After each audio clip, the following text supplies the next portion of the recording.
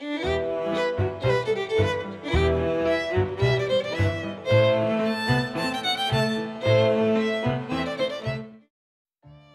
everyone, this is Nathan from the Maker School. I'm here today with Camille, Martin, and Clément. And we are going to talk about virtual production. Our friends at the Plateau Virtuel, Julien Lascar and Bruno Corsini, invited us to check out the very first virtual set here in France, near Paris. Let's see how it works. Virtual production is a wide term that refers to many things that involve real-time 3D rendering. What we are looking into today is something a bit new. Instead of green screen, we are using LED screens, shaped in a volume that surrounds the stage, mixing reality with virtual world.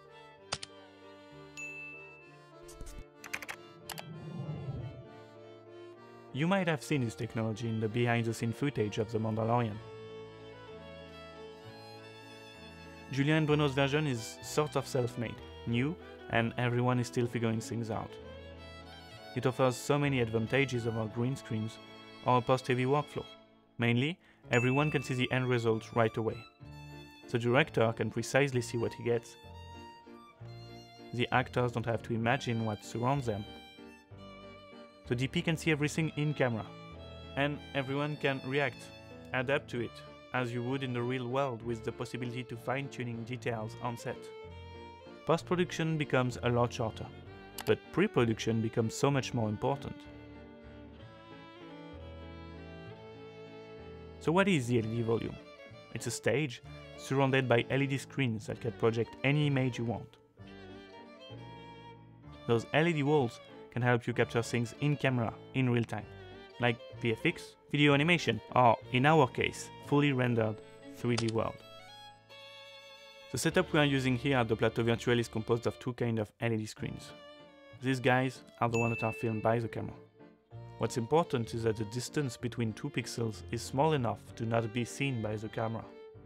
That distance is called the pitch. The LED panels we are using have a pitch of 2.5mm, which is smaller than the screen used on the Mandalorian. Not bad, right? We also use LED screen above and around the scene. These are not filmed by the camera, but they do provide light for the scene. We'll get into that in another video.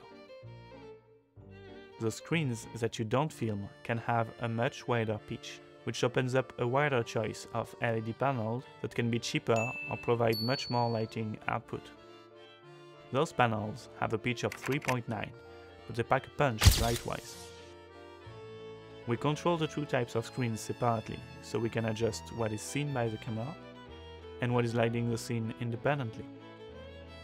The screens are connected via controllers to a station that is playing the content made with the Unreal Engine, a real-time 3D rendering software, and to a media server that can add other types of content on top of it,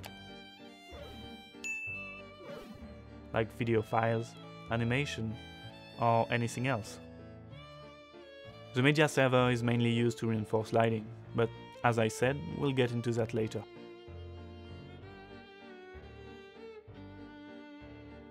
There is also someone that is constantly grading the LED walls so that the content on the screen is matched with the real world.